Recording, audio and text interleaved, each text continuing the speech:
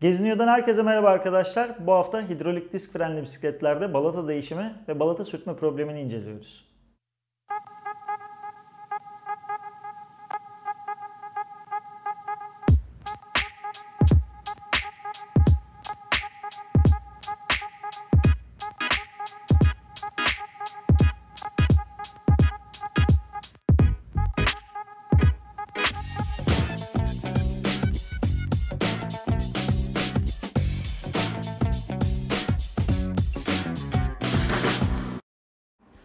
Evet arkadaşlar tekrar merhaba hepinize. Ben kısaca şimdi hemen kullanacağım malzemelerin tanıtımına geçeyim.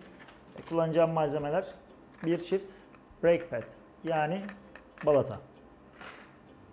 Kaliperi yerinden sökebilmek için alyan takımı ve ufak bir pense kullanıyorum.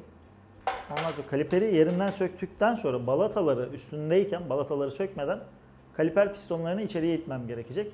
Bunun için de ister şöyle bir şey kullanabilirsiniz. Bu kaşık sapı falan da olabilir veya tornavida e, kullanabilirsiniz. Ama e, özellikle dikkat etmeniz gereken konu balataların üzerinde olması. Bunda neden olduğunu birazdan açıklayacağım. Balata temizleyici kullanıyorum. Balataları söktükten sonra e, kaliper içindeki pislikleri, e, ondan sonra tozları temizlemek için balata temizleyici sprey kullanıyorum. Ama bu sefer Wörth'ün almadım, Liquimol'inkini aldım. Liquimoli de bayağı tanınmış bir marka. NASCAR yarışlarında falan Amerika'da kendileri sponsor oluyorlar. En sonunda ne kullanıyorum? Tabii ki ellerim kirlenmesin diye ameliyat eldivenleri kullanıyorum arkadaşlar. Şimdi isterseniz birlikte balata değişimine geçelim. Evet arkadaşlar ilk olarak ne yapıyoruz? Kaliperimizi yerinden söküyoruz. Bu arada böyle çok kolay çıkıyormuş gibi olduğuna bakmayın. Ben bunların e, cıvatalarını az önce gevşettim.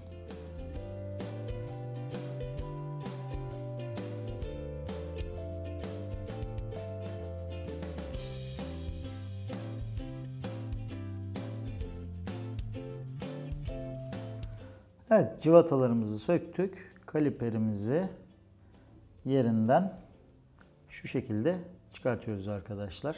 Ee, bilmiyorum net görebiliyor musunuz? Şu şekilde kaliper rotordan ayrılmış oldu. Evet arkadaşlar gördüğünüz gibi kaliperimizi söktük. Artık işin pis kısmına geçiyoruz. Bu etapta artık ameliyat eldivenlerini kullanmaya başlıyorum ellerim kirlenmesin diye. Şimdi ilk olarak e, tornavidamızı göstermiştim. Tornavidamızla şu balatalar aşındığı için biraz daha öne gelecektir. Öne geldiği için de şu kaliperlerimizin içindeki pistonlarda yeni takacağımız balatalara göre alanı daha dar olacaktır. Bu yüzden bunları geri itmemiz gerekiyor. Normalde e, genelde ne yapıyorlar? Genelde balataları söküyorlar içinden. Ondan sonra e, plastik levye ile lastik levyesiyle içeriye doğru ittiriyorlar. Ben bunu çok önermiyorum. Açıkçası pistonlara çok dokunmak istemiyorum. O yüzden en güzeli şu şekilde üzerinde eski balatalar varken araya hafiften şöyle bir tornavida sokarak bunları güzelce yerlerine sıfırlayabiliyoruz. Böylece ne oluyor? Pistonlarımıza hiçbir şekilde metal değmemiş oluyor. Ee, yani metal derken şöyle tornavidayı da plastik, plastik levyeyi de oydu buydu değmemiş oluyor. Şöyle güzelce sıfırlanmış yerine geçmiş oluyor. Şimdi gelelim ikinci etaba. İkinci etapta da balatanın sökümü var. Balatamızı sökmek için üstünde şu şekilde bir pim göreceksiniz. Rondela veya pim. Rondela da deniyor buna. Pim de deniyor.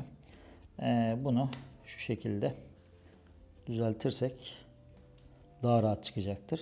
Evet gördüğünüz gibi hiç zorlanmadan çıktı arkadaşlar.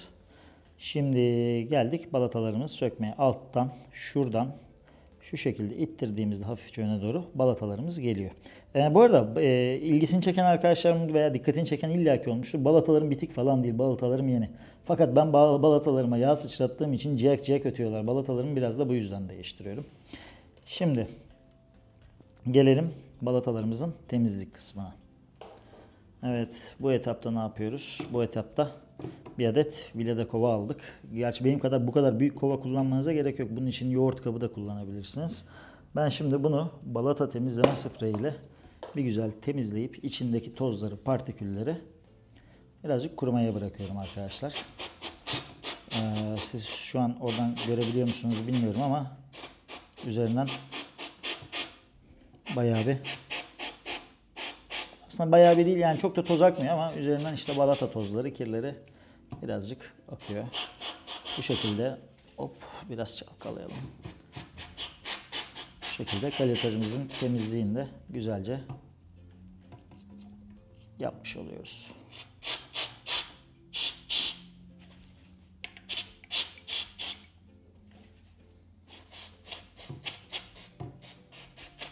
Tamam. Şimdi bu da bitti. Artık biraz bunun kuruması için, süzülmesi için bekleyeceğiz.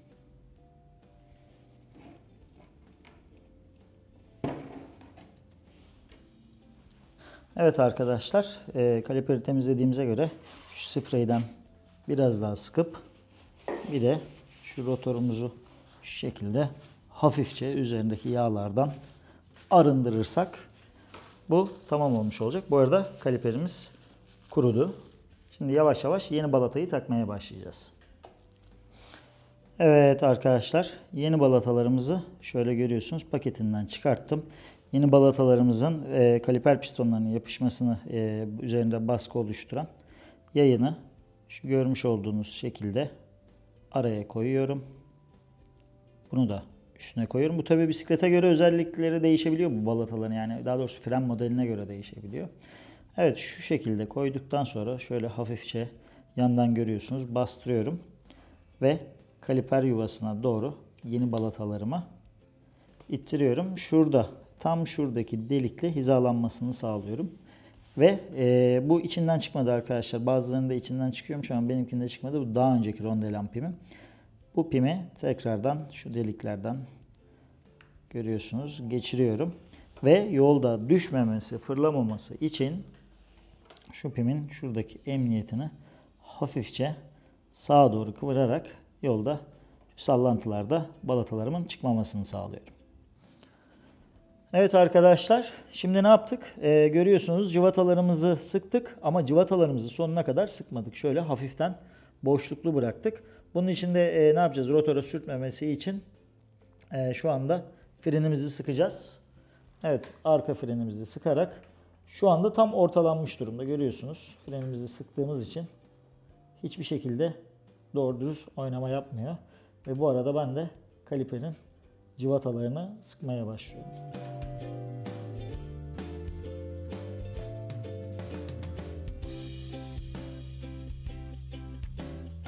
Dediğim gibi kaliperimizin cıvatalarını frenimiz sıkılı haldeyken sıktık.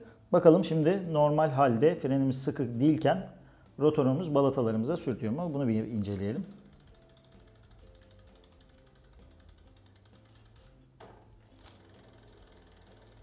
Evet. Şu anda herhangi bir sürtme yapmıyor. Evet arkadaşlar e, dediğim gibi benimkinde sürtme yapmadı. Fakat bu sizinkinde sürtme yapmayacağı anlamına gelmiyor. Şayet sizinkinde sürtme yaparsa ne yapıyoruz? Atıyorum şu bölgede bir sürtme yapıyor diyelim e, balataya değdiğinde. E, şu anda balataya değdiğinde sürttüğünü varsayarak konuşuyorum. Cıvatalarımı gevşetiyorum. Ondan sonra e, hafiften kaliperim oynar vaziyete geliyor. Tekrar frenimi elimle sıkıyorum. Tabi aradaki mesafe yüksek olduğu için e, freni sıkmak zor olacak. Freni lastik veya bir iple de bağlayabilirsiniz. Fren sıkılı haldeyken sürttüğü noktada yalnız altını çizerek söylüyorum. Sürttüğü noktada e, tekrardan kaliperimin üzerindeki cıvataları sıkıyorum. Bu şekilde sürtmeyi çok daha kolay engellemiş olursunuz.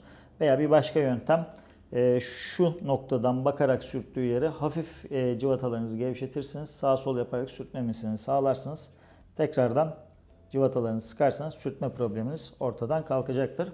Şimdilik benden bu kadar arkadaşlar. Videolarımı paylaşmayı, beğenmeyi unutmayın. Kanalıma abone olursanız da beni mutlu edersiniz. Bir sonraki videoda görüşmek üzere.